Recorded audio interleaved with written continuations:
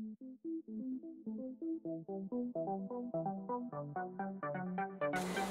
Tuidig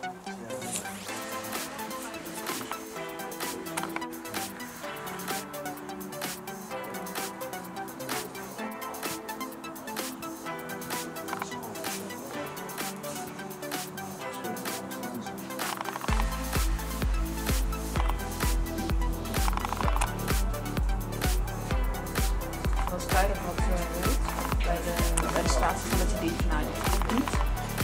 dan uh, dan begint hij iets aan te slaan. Ook als de minister ook uh, in de tuin staat in